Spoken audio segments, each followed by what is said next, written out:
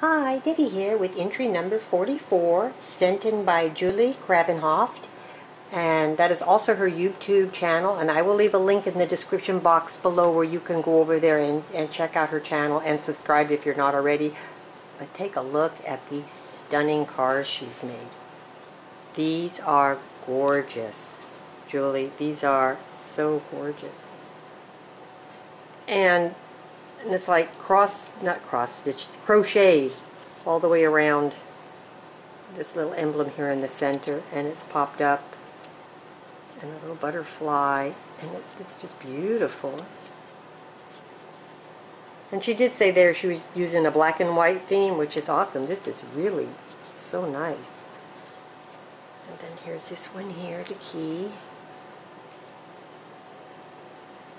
Yeah, so if you go over her channel, she'll, she'll go over to you uh, with you, you know, the papers that she used and all that, how she made these cards. She has all that on her, on her channel.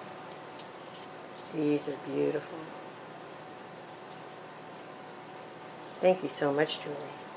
And here's this one here. The Eiffel Tower. I did show you her name, right? I better do it just in case. I might have thought I did. I try to do that right in the beginning so I don't forget. But you also sent me this little package. She said there were like embellishments in case I wanted to make some cards myself, but aren't these... These are just perfect, just without putting them on a card, just like that. These are nice. Thank you so much.